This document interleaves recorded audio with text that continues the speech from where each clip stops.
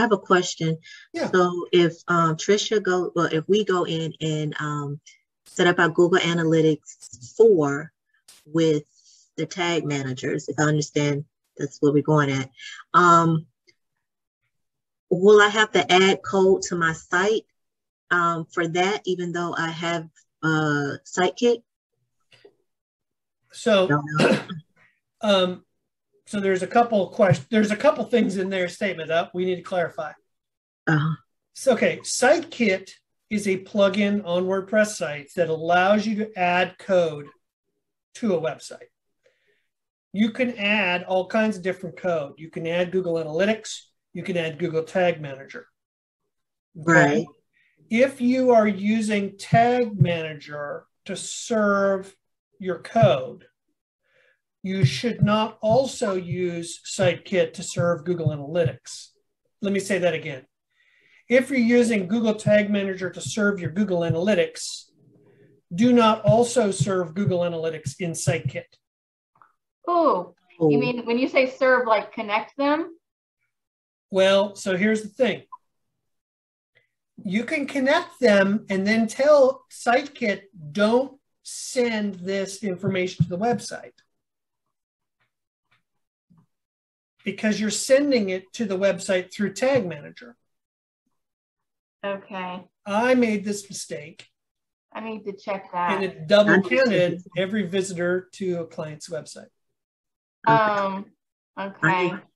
all right, so I need to check that because I remember. Yeah. going- I'm not sure. I want to. I'm. I'm just. I'm Let me- looking let me into mine. see. to see. So Maybe I'm getting see. confused with Google Analytics 4 and setting up um, Tag Manager. Maybe I'm getting that confused. So, pardon me. Let me, uh, let me just log in and see if I can show a screen. Um, do, do, Okay. So let's All see. Analyt. I have Tag Manager connected. Analytics is connected, but I don't see where you say don't serve it. Let me see. Okay, okay. Let's, you, you sharing your screen? I'm going to share my screen. Okay. So here is SiteKit for Curious Ants. Yes. Mhm. And um, I go to settings under SiteKit.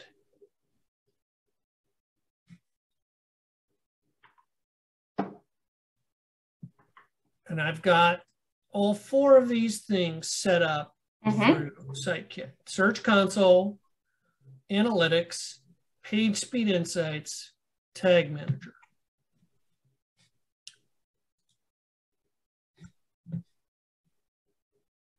This is the feature we want. Snippet is, is not, not inserted. inserted. Okay. So let me let me see what mine says. Right. Mine says, oh, uh says snippet is inserted.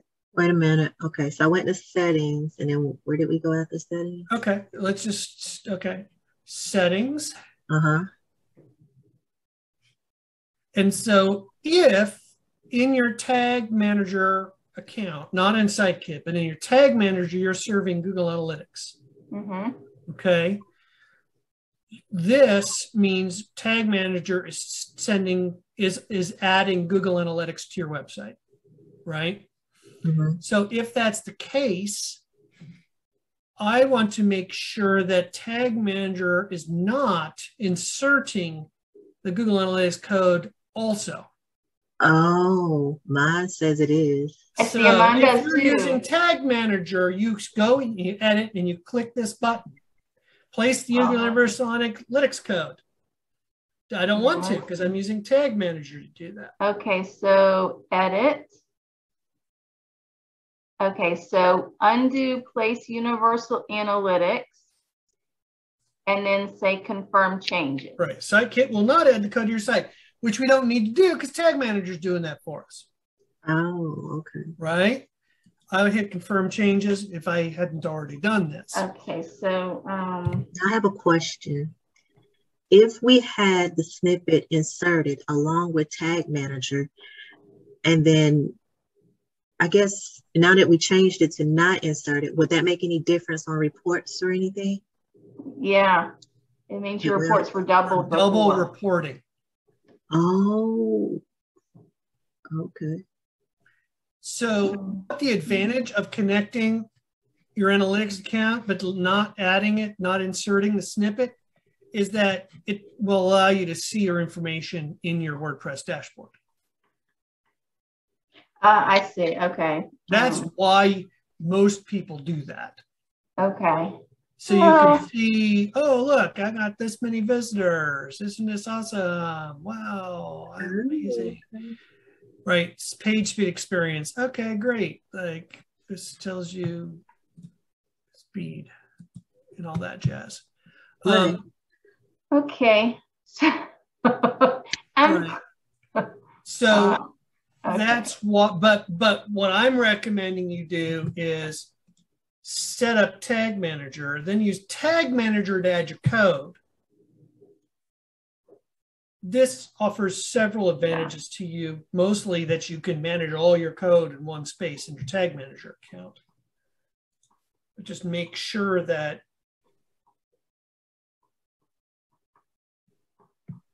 Oh, that's interesting. Yeah. I, I I tell you, don't feel bad. I realized I was doing this with a client. I, I'm glad you did tell me this because I need to go back and check. Um, so also, I think so. I think when I connected this, I don't know what I was doing. So, and I also have it set for like the raw, the raw backup data. Is that correct? What do you mm-hmm. have yours set on?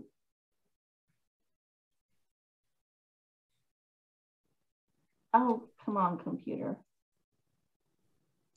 Oops. I didn't mean to do that. Um, when you click on your edits there, Edit in analytics. uh-huh. That Or oh go. no, just edit it there at the bottom. You have all website data. always. Okay, so I don't know. Let me see. So that would be like my master view. I think. That's probably what you have it. Yeah, pro- I think that's probably what you have it named. Okay. Um, Remember, we created these views. There's a testing one for when we got to change something, backup, Yeah. never ever change. What this all this is doing is saying which view do you want to see the snapshot of in Google Analytics?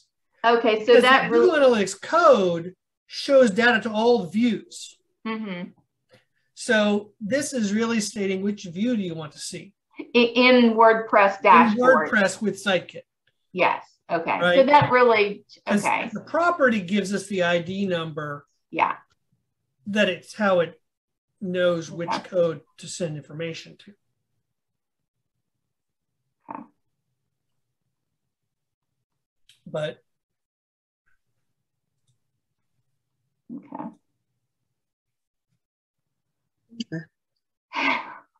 Yeah, and That's, 'Cause- that was. Hmm. I'm glad we got into this.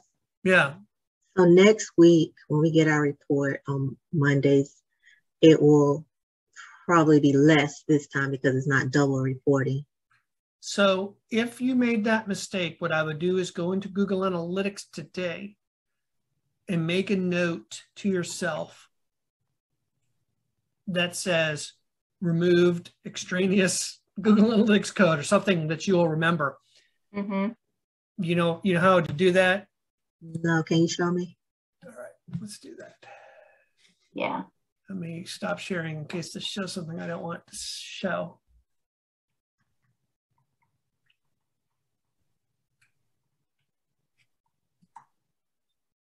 Okay. That's fine. All right, I'm gonna share screen again. All right, so this is where it this is where it took me. So all I really want to go to is I, I can go to any of my reports. Let's just go to all traffic channels.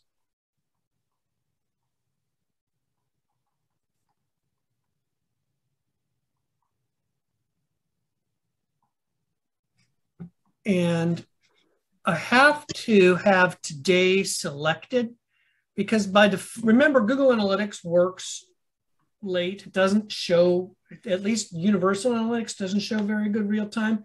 GA4 will start to show more real time data, mm-hmm. which is mm-hmm. really advantages. So I really have to because this includes up to yesterday. I really have to go and select the date to be today, which has to be September 1st. Okay. And see this little arrow down here underneath the date? Mm-hmm. Really subtle.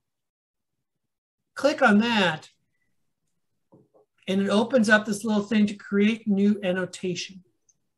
If I create new annotation, I can put whatever I want in there. so um, I'm just going to put that in there. So now, whenever I view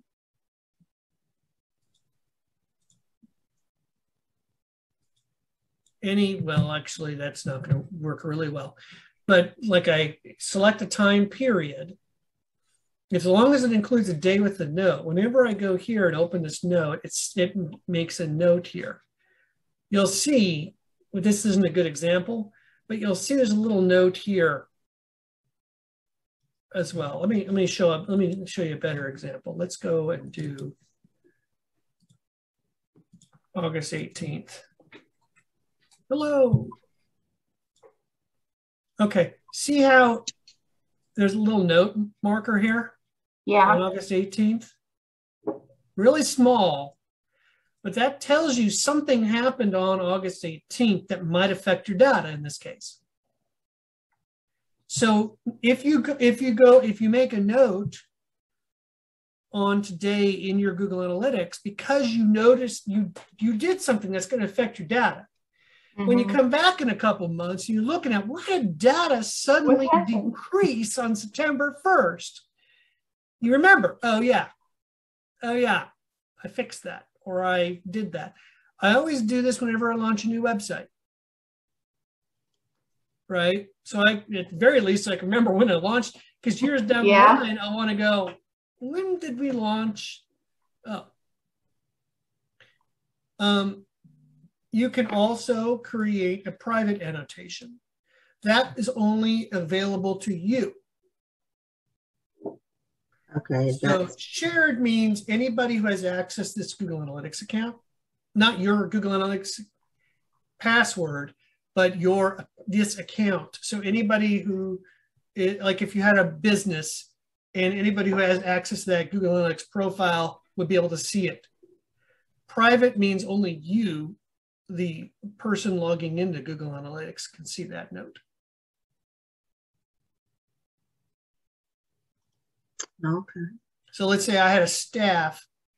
If I made it private, only me logging in would get it. But if if if Lavanya had her own separate login to Google Analytics for my website, she would not see the private notes. She would only see shared notes.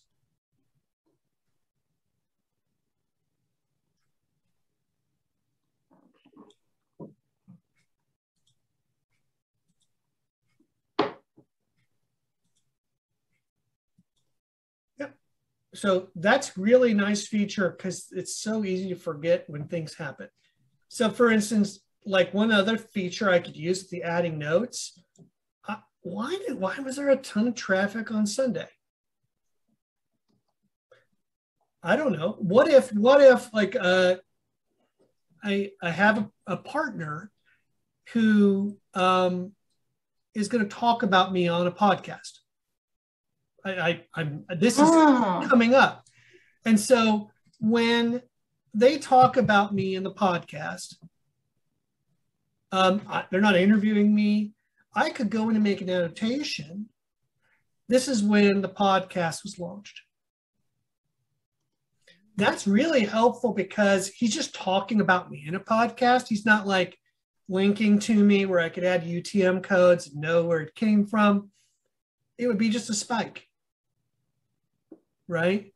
If mm-hmm. one one of the reasons, so I could add a note on this day to say, oh, this is when the podcast was launched. So at that point forward, Yeah, there's all kinds of really great things you can do with the annotation features within Google Analytics.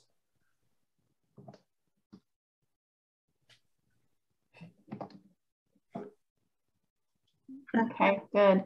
Yeah, I just went in the site that launched last night and put a note that it when it launched. So, there you go. yeah.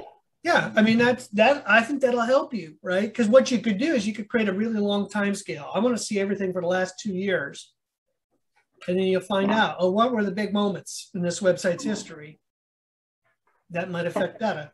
Yeah, and this is one that before, like, it was just a forwarded domain. So, yeah. Okay. And yeah, it's it's really helpful when it goes to things like, okay, since we launched the new website, our traffic has doubled. I set a time frame between when it launched and today, and I have compared the previous period. Immediately know how how how the traffic's performed since we launched. Yeah. Right.